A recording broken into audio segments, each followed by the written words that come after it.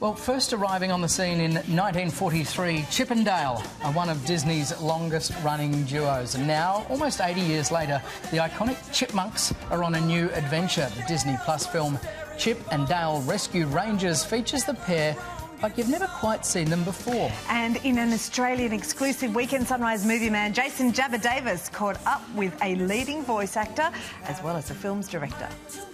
What's the first thing that pops into your head when I say Chip and Dale? I bet it's these guys! But certainly the second would be those rascally cartoon chipmunks, Chip and Dale.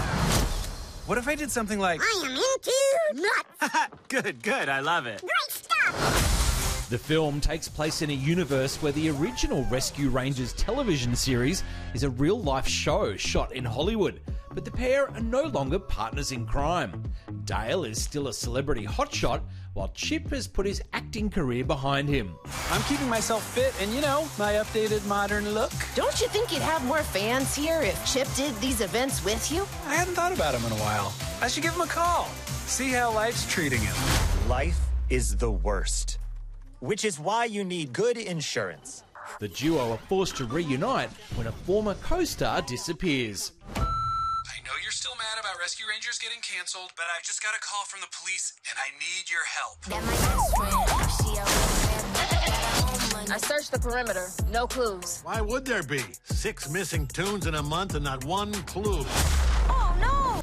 The concept of longtime friends coming together is one Andy Samberg, the voice of Dale, and Akiva Schaffer, the film's director, both know all too well. parallels with, with your with your own stories there as, as kind of childhood mates who formed the Lonely Island and you know went on to big things. Similar but different. We worked together on a show and we were friends together from when we were really young, but we never had a big falling out, as us working together on this movie proves.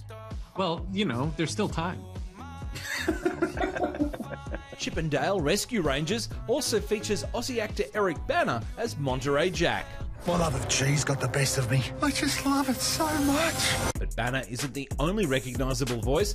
The film is full of nostalgia, with cameos from some of our most beloved cartoon characters. In this film, you have a criminal Peter Pan, a rogue Muppet chef, along with Ugly Sonic, He-Man, and Skeletor.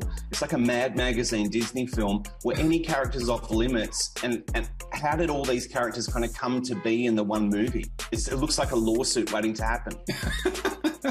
It was a really important to the movie to have third party characters, not all Disney owned characters. Uh, I just remember being a kid watching Roger Rabbit, and when the Looney Tunes were mixed in, it just made the whole like world feel so much bigger and so much more fun. And this is intended to be kind of a love letter to animation, so it wouldn't feel right without that meaning all of animation.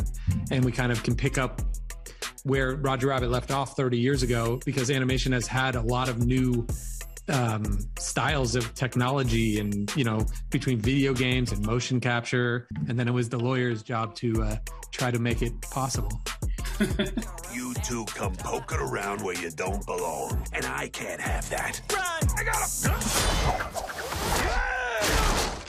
What are you looking at? Honestly, your weird dead eyes. Over here! Go get him! This is awesome!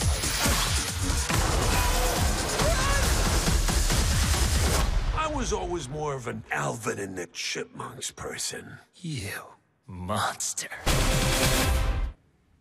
That looks good, and you're teasing me because previously I didn't um, Chip and Dale. I didn't get the Chip and Dale. Is that am I? Is that? I'll just Australia really can decide. dumb? Sorry. The viewers can decide. I, I have my personal Thank thoughts. you, my friend, for really sticking Well, I mean, up it for is me a and not making me feel abbreviation. stupid.